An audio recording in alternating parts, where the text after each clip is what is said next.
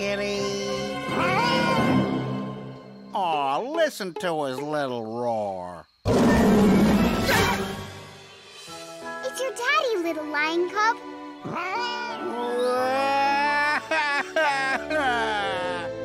that scared me. Well, it's not nice to chase people. Or cubs.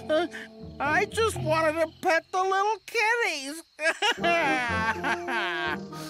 I have an idea.